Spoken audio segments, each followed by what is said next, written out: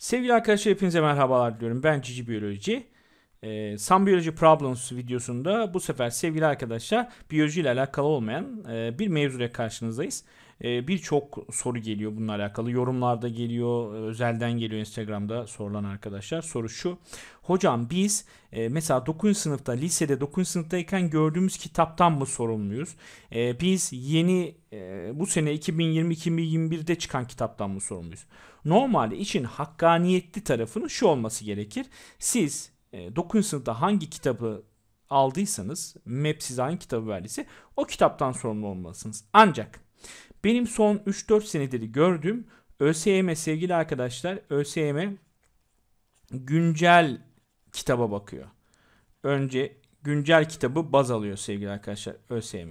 Yani elinden geldiğince o kitaptaki bilgileri alıyor, baz alıyor. Ama almasında da mantıklı bir yan var. Ee, öz, e, MEB'in dağıttığı kitaplar artık öyle sürekli değişmiyor. Mesela 4-5 e, senedir arkadaşlar 9. 10. 11. ve 12. sınıfın MEB yayınları kitapları hiç değişmiyor. Aynı. Mesela şu önünüzde gördüğünüz kitap sevgili arkadaşlar 2020 2021 sevgili arkadaşlar 9. sınıf 9. sınıf MEB yayınları kitabı. Yani MEB'in komisyonun hazırladığı kitap. Sevgili arkadaşlar bakın bu 2020-2021 yani bu sene çıkan kitap. Şimdi ben size bakın bir, burada ne diyor mesela? Burada bakın diyor ki arkadaşlar bakteri mantar hücrelerinde hücre duvarı endositozi engeller diyor. Bakın ben size bir önceki senenin kitabını göstereceğim. Aynı kitap, kapağı aynı, yazarlar aynı, her şey aynı. Ama bakın bak ne diyor? Bakteri sevgili arkadaşlar hemen yazalım. Bakın şuraya. Diyor ki bakteri, bitki, bazı istisnalar hariç ve mantar hücrelerinde hücre duvarı endositozu engeller diyor. Saygıdeğer arkadaşlar. Bakın dikkat ederseniz bir güncelleme gelmiş arkadaşlar. Tamam bir güncelleme gelmiş. Bu kitap hangi senenin kitabı? Sevgili arkadaşlar bu kitap 2019-2020'nin kitabı. Bak bir önceki kitap ne arkadaşlar? Hemen açalım. 2020-2021 bakteri mantar hücrelerinde hücre duvarı endositoz engeller diyor. Ama güncel olan kitap olmayan yani geçen sene kitapta ise sevgili arkadaşlar bakteri ve bitki bazı istisnalar hariç ve mantar hücrelerinde hücre duvarı endositoz engeller diyor. Velhasılı kelam. E, kitaplar aynı. Sene sene kitap çok değişmiyor. Sadece içerikte ufak tefek değişiklikler var. Siz öğrencilerin görevi de e, o senelerdeki yani her geçen senede meydana gelen ufak tefek değişiklikleri sevgili arkadaşlar bir şekilde takip etmeniz. Yani siz bu sene 2020-2021'de basılmış olan özellikle MEB yayınlarının hazırladığı kitapları takip etmelisiniz. O kitaplardaki bilgiler önemli. Çünkü aleni var olan bir yanlış varsa e, arkadaşlar ÖSYM zaten bunu kabul etmiyor genellikle. Genellikle kabul etmediği için MEB yayın, MEB, MEB'in yayınladığı kitaplarda bu bilgiler giriyor. Doğruları sürekli giriyor. Yani şu an piyasadaki özel, tüzel bütün kaynaklar içerisinde en güncel kaynak MEB yayınlarının kaynaklarıdır.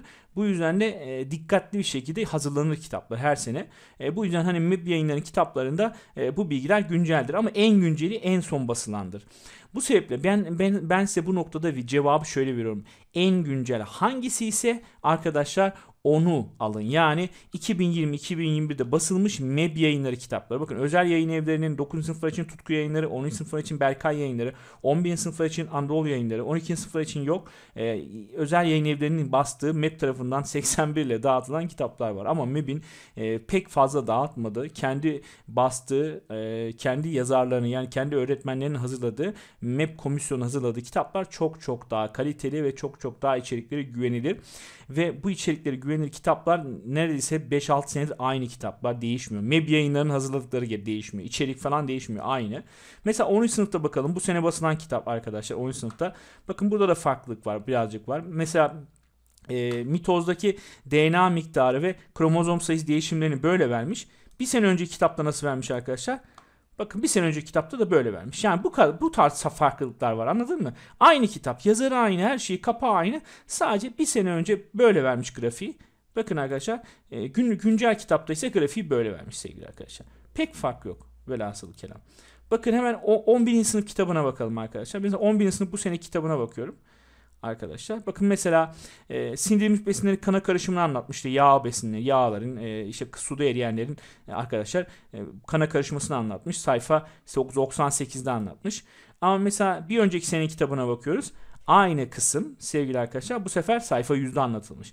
Yani aslına bakarsanız geçen sene kitaba göre 11. sınıf kitabının 2 sayfa daha azalmış arkadaşlar. 2 sayfa eksiltmişler sağdan soldan kırpmışlar. Veya şekil azalmış veya işte okuma parçası azalmış. Ve asıl kelam e, arkadaşlar kitaplarda çok fazla oynama yok. Çok fazla değişme yok. Yani siz güncel olandan sorumlusunuz. Yani lütfen bu noktada e, gidip de ben e, benim zamanımda yanlış anlatıldı ben bundan sorumluyum gibi kendinizi diretmeyin. Güncel olan okul kitabı ne diyorsa onu baz alın. Bakın ama okul kitabı diyorum. Yoksa gidip A yayını, B yayını, C yayının dediğini almıyorsunuz okul kitabı almışsa alın arkadaşlar. Tamam bakın burada okul kitabı almış. Çatır çatır alın. Mesela bakın bitkiler endositoz yapar, yapar diyor. Değil mi? Bitkilerde endositoz görülür diyor. Artık siz görülür olarak alabilirsiniz çok rahat bir şekilde. Hiçbir sıkıntı yok arkadaşlar. Tamam Mevzu bu. Bundan ibaret anlatacağımız mevzular. Sonuçta tekrar olarak tekrar söylüyorum arkadaşlar. MEP sevgili arkadaşlar e, siz YKS'ye girerken YKS'ye girerken hangi kitapları baz alacaksınız? Arkadaşlar en son baskıyı. Bakın en son baskı diyorum. En son çıkan kitap demiyorum. Çünkü kitaplar aynı zaten. Meb yayınların kitapları yazarına kadar aynı. Sadece baskısı. En son baskı en güncel, en e, güncelleştirilmiş ufak tefek değişiklikler var. Mesela geçen seneki kitapla bu sene kitap %95, 96 belki birbirine benziyor. Çok ufak tefek farklılıklar var. E, bir zahmet o farklılıkları da e, takip edin sevgili arkadaşlar diyorum. Güncel kitapları baz alın. Özellikle Meb yayınlarının hazırladığı kitapları diyorum sevgili arkadaşlar. Kendi zamanınızdaki kitapları baz almayın. En son baskı neyse onu baz alın diyerek videoyu sona erdiriyorum. Hepinize iyi çalışmalar diliyorum.